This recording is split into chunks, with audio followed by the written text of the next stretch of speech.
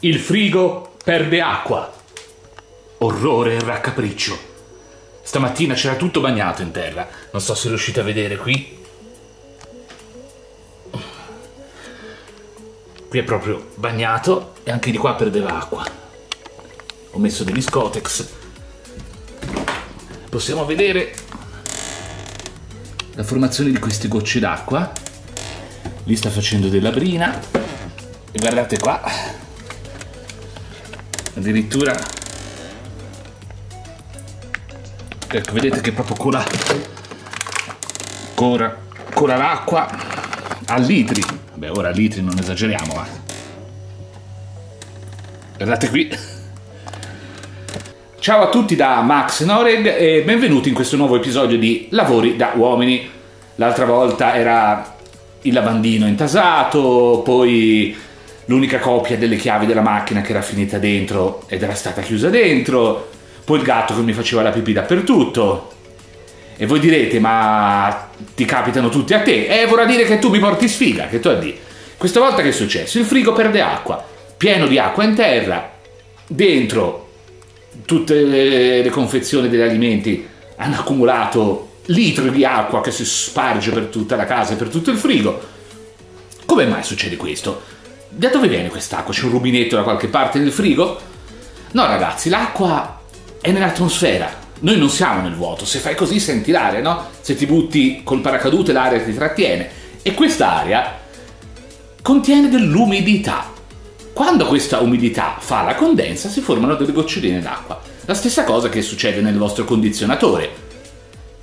Quando c'è un macchinario che fa del fresco, si forma dell'acqua di condensa. Quest'acqua di condensa dove va? deve venire incanalata in un tubicino e dispersa nell'atmosfera, in una bacinella o da qualche parte. Quindi, se qui si forma dell'acqua, è molto probabile che questo tubicino che dovrebbe portare via la condensa sia intasato. Andiamo a verificare. Allora, l'acqua dovrebbe andare in questa parete, scivolare, vedete che ora si è formata anche della brina e non va bene, e alla fine arrivare qua. Ed ecco, non so se riesco a mettere a fuoco, ecco qui. Il buco da cui passa l'acqua, intasato? Ragazzi, altro che. Cioè, fa, è una cosa schifosa, cioè... Qui non ci passa un filo d'aria, altro che di acqua.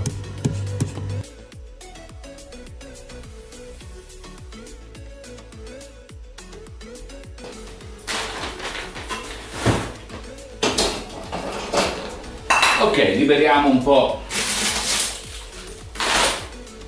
il frigo, perché poi dovrò anche spennarlo un po'. E poi insomma così lo spostiamo meglio. Ok, approfittiamo anche per dargli una pulita che male non fa.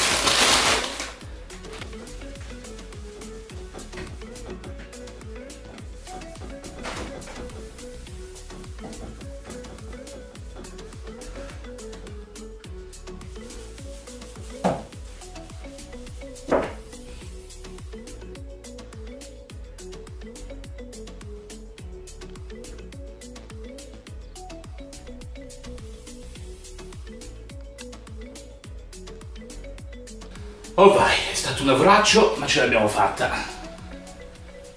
Ok ragazzi, questo è il retro del frigo e qui in fondo questo deve essere il compressore che fa il freddo. Il tubicino che abbiamo visto fuoriesce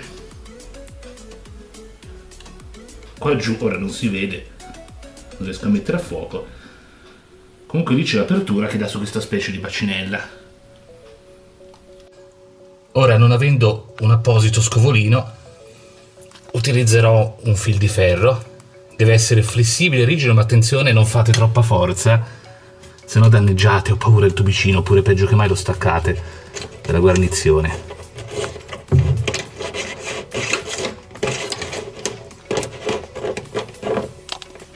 Ecco qua il nostro fil di ferro che esce e va nella bacinella non serve una grande lunghezza come vedete ok il condotto sembra libero più che altro c'era un tappo proprio qui nella parte iniziale. Spesso basta pulire qui, sgombrare questa zona per permettere all'acqua di defluire. Ora proviamo e vediamo se defluisce in effetti. Andiamo ora infatti a versare un goccetto d'acqua in questa canaletta.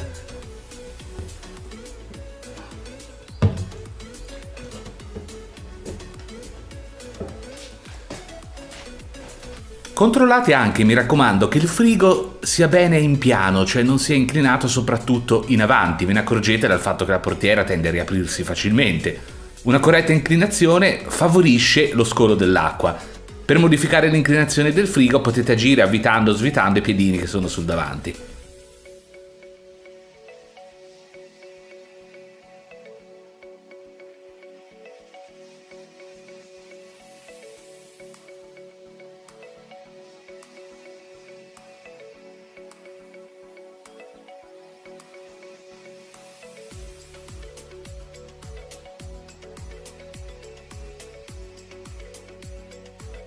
E questo è tutto per oggi. Quindi mi raccomando, se vedete che c'è troppa acqua in giro, verificate che non sia ostruito il canalino che semplicemente porta via l'acqua di condensa.